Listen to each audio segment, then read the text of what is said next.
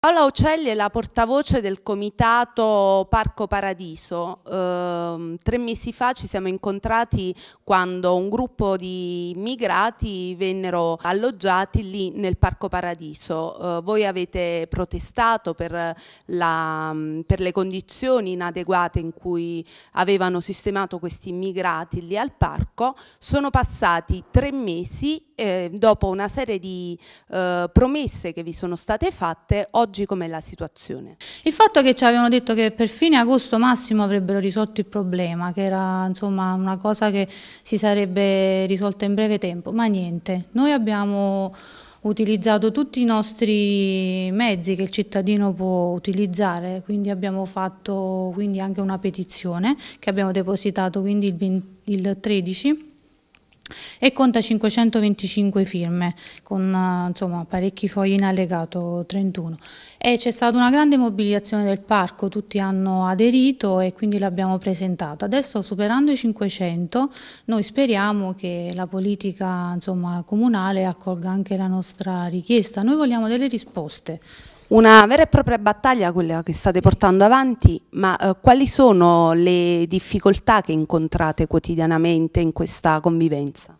Allora, diciamo che la struttura è stata messa a norma, tra virgolette, dopo l'ingresso degli immigrati. Hanno fatto dei bagni, perché prima ne contava un numero inferiore a quello che poteva accogliere gli immigrati, che noi sappiamo che sono 48 dalla nostra ultima contabilità che ci hanno indicato. Poi per il resto eh, non ci sono mai stati controlli, non è mai passato la macchina dei vigili ogni due giorni, abbiamo chiamato perché ci sono stati dei piccoli disordini, la, i carabinieri che sono fuori non sono mai venuti, insomma abbiamo avuto questa difficoltà proprio di sicurezza del territorio, di controllo. Umberto Mercurio, il presidente del comitato Licola Mare Pulito, eh, voi avete sposato in qualche modo questa causa e soprattutto chiedete risposte alla politica a Pozzuoli. Beh, noi abbiamo sposato questa causa eh, come l'abbiamo sposata già anche in passato quando ci fu il, il primo tentativo di mettere immigrati a Licola Mare.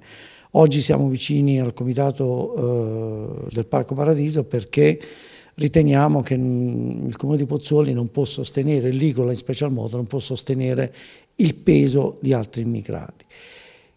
In questo momento noi quello che stiamo chiedendo e quello che chiediamo dopo la petizione che abbiamo fatto, i 529 firme, firme è quello che la politica la politica putolana, quella che dice di essere sempre vicino ai cittadini, quella che dice che i cittadini vengono prima di tutto, si facciano carico almeno tre consiglieri, se ci sono tre consiglieri disposti, a sottoporre al Presidente del Consiglio Comunale e inserirlo nell'ordine del giorno la questione del Parco Paradiso.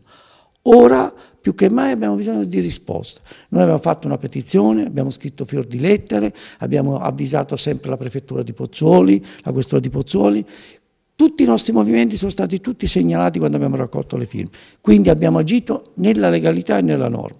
Chi non sta agendo nella legalità e nella norma, in questo caso è l'amministrazione comunale di Pozzuoli, la quale oltre eh, a farci penare per avere i documenti che sono in nostro possesso, non riceviamo mai una risposta. Io credo che i cittadini meritino a questo punto delle risposte serie sulla situazione degli immigrati. Se questi immigrati devono rimanere lì, Bene, qualcheduno abbia il coraggio, ma deve avere veramente il coraggio, perché quando mi par di vedere il coraggio, in questo periodo ne vediamo poco in giro, di dire come stanno le cose.